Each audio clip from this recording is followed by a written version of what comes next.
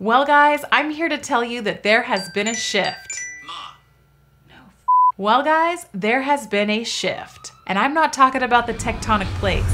That's right, I'm talking about the real estate market here in Central Texas. Let's start by talking about what's been happening. Well, if you've been tapped into the real estate market, you know that we've been experiencing multiple offers, copious amounts of money over asking, and overall craziness. So, what's gonna happen now? Well, interest rates are rising and they will continue to. And that has spooked a lot of buyers.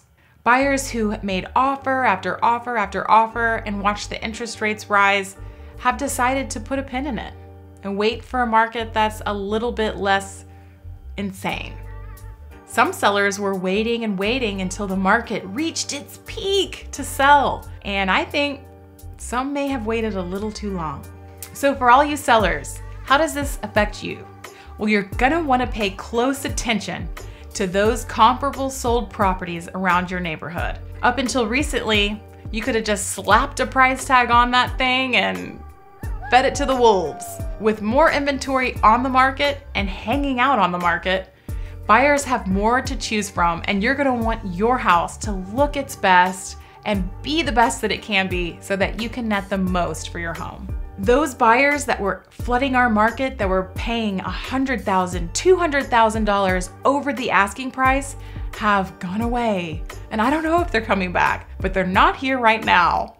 So now for those buyers, what is it gonna look like for you guys? Take a deep breath because we are seeing a light at the end of the tunnel. Not only are there more homes on the market, but we are seeing price reductions. We are seeing houses stay on the market for more than a month. That tells me that there are less buyers out there doing crazy things like offering $100,000 over. That creates more opportunities for you to get the home you want.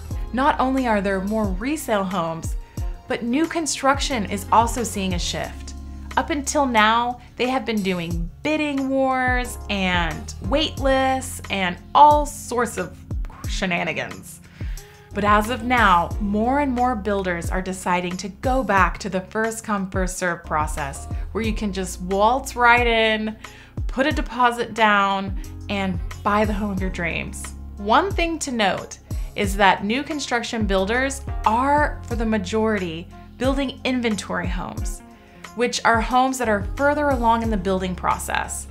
And what that looks like is that a buyer that once could have come in and made lots of customizations, add a porch, take away a bathroom, this and that. But now you're more limited in the changes that you can make with your home. It might even be a good thing because it discourages buyers from making wacky decisions like putting a clawfoot bathtub in the middle of the upstairs loft area. One tip for you buyers is that try to change your mindset to think more like an investor. Just because everybody's deciding not to buy a house right now because interest rates are rising, it might be the window of opportunity that you needed to get in and get the house that you want. But Liberty, what about the interest rates? Aren't you insane? Well, think about these two things.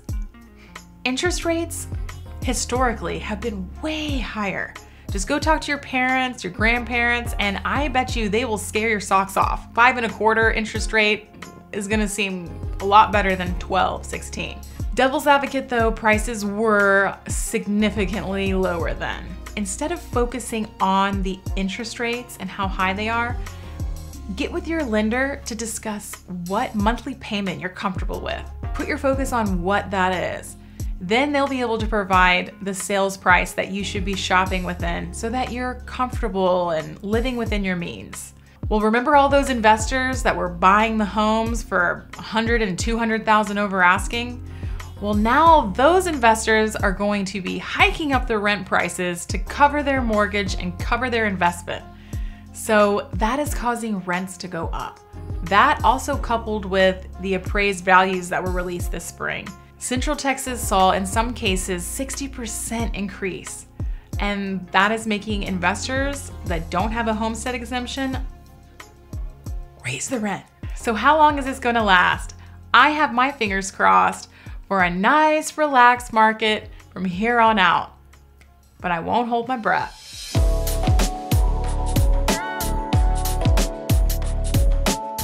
I mean, it's been like a wild hurricane of a ride.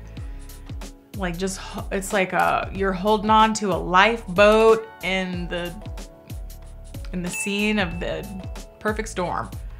I think that more people are moving to Texas and it's only a matter of time before they start being comfortable and okay with the interest rates.